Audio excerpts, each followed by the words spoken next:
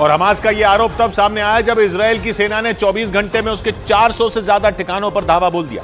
आरोप लगे कि इसराइल की वायुसेना ने रात के वक्त आसमान से बमों की बारिश कर दी।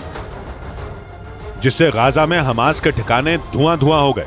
इसराइल की सेना ने ताबड़तोड़ हमलों से हमास के लड़ाकों की कमर तोड़ने की कोशिश की। इसराइल की फौज के मुताबिक उसने एक ही दिन में हमास के 400 से ज़्यादा ठिकानों को बर्बाद कर दिया। इतना ही नहीं इसराइल ने हमास के कई लड़ाकों को भी मार गिराने का दावा किया है।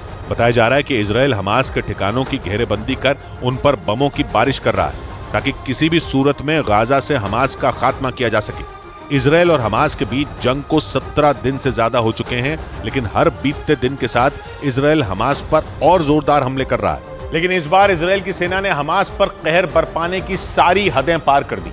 हमास ने आरोप लगाया कि इसराइल के हमलों में गाजा में एक ही दिन में 700 से ज़्यादा लोगों की मौत हो गई। क्योंकि इसराइल ने न दिन देखा, न रात। उसने सिर्फ़ और सिर्फ़ गाजा को दहलाने वाले हमले किए।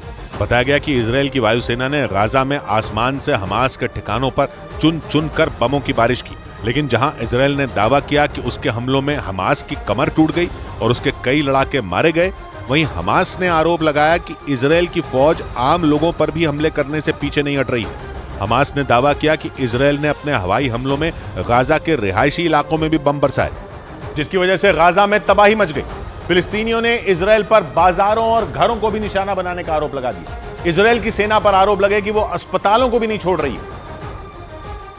और इसीलिए गाजा में हालात बहुत ज़्यादा खराब हो गए। गाजा में रह रहे फिलिस्तीनियों ने इसराइल पर आरोप लगाया कि वो उनका नामो निशान ही मिटा देना चाहता। है इसीलिए वो बाज़ार अस्पताल और यहाँ तक की रिहायशी इलाकों में भी कहर बरपाने से पीछे नहीं हट रहा। यही वजह रही कि वेस्ट बैंक में भी इसराइल के खिलाफ लोगों का गुस्सा भड़क गया।